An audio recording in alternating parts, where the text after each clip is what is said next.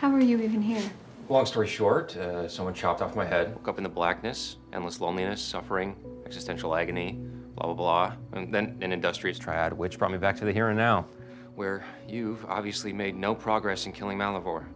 We did manage to lock him in a prison world. Well, there's no prison that will contain my father. You know it. Is he still sending monsters?